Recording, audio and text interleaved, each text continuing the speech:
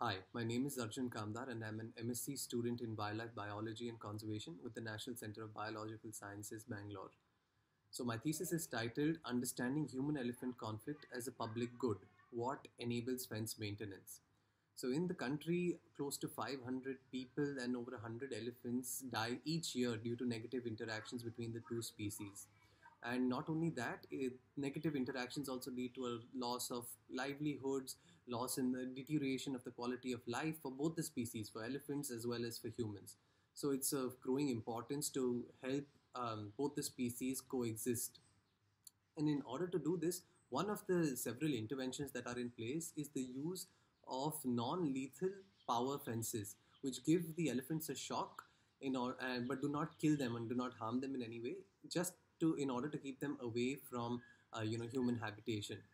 However, these fences require people to come together collectively um, to you know reap the benefits. Because if even one person out of the community of people that are meant to maintain the fence and ensure that it's functional and you know well maintained um, even if one person you know does not do their part then the entire fence fails. So this is exactly like a public good right where all the people um, you know who are beneficiaries to a system have to agree on a set of norms a set of rules in order to make this work.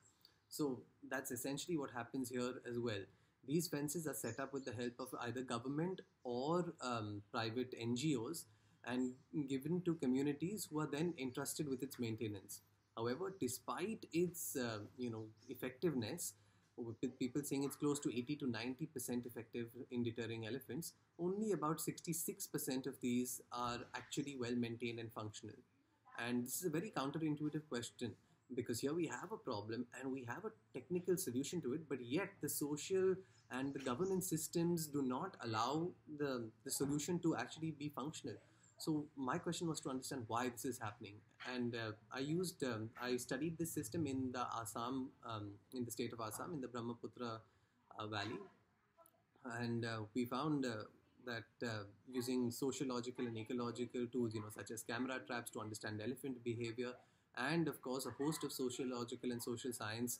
Uh, methods to understand this system better, to understand governance systems, monitoring systems, and using Ostrom's framework which helps us understand and decipher the complex and chaotic nature of such systems you know because it can't have the conventional you know control and treatment way. So we have to innovate and use several newer and uh, cutting edge sophisticated uh, social science methods. And we found that um, we um, we found what actually works and what systems work and where do systems fail. So to understand the causal links. And that's what the thesis is about